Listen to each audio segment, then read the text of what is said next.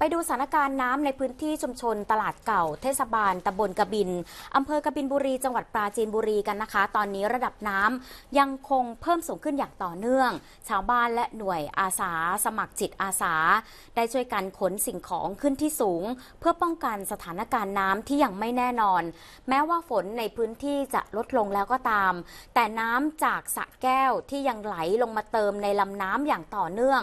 ส่งผลให้ระดับน้ำในแม่น้ำและลำห้วยสาขาต่างๆ เพิ่มขึ้น ทางด้านนายอำเภอกบินบุรี ก็ได้กำชับให้ทุกส่วนเฝ้าระวังอย่างต่อเนื่องค่ะขณะที่ก่อนหน้านี้นายพิบูลหัตถกิจ โกศลผู้ว่าราชการจังหวัดปราจีนบุรี พร้อมหน่วยงานที่เกี่ยวข้อง ก็ได้ลงพื้นที่ไปเยี่ยมชาวบ้านหมู่ 3 และหมู่ 7 หลังน้ำป่าจากอุทยานแห่งชาติเขาใหญ่ที่หลากลงมาตามคลองลำพญาทานเอ่อเข้าท่วมทำให้คอสะพานขาด ซึ่งเจ้าหน้าที่ได้ทำการก่อสร้างสะพานชั่วคราวเพื่อให้สัญจรไปมาได้ รวมทั้งมีการติดตามสถานการณ์น้ำที่ล้นตลิ่งในพื้นที่ชุมชนตลาดเก่า พร้อมนำสิ่งของอุปโภคบริโภคไปแจกจ่ายให้แก่ประชาชน เพื่อบรรเทาความเดือดร้อนแล้วค่ะ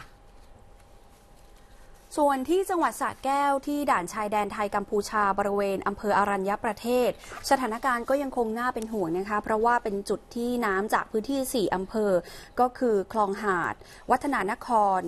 โคกสูง และอรัญญประเทศ ไหลมารวมกันที่คลองพรมโหดและคลองลึก ทำให้ปริมาณน้ำเนี่ยเต็มตลิ่ง หากว่ามีฝนตกลงมาเพิ่มอีก ก็จะทำให้น้ำทั้งสองลำคลองสูงขึ้นจนล้นตลิ่งแล้วก็เข้าท่วมพื้นที่ได้ค่ะ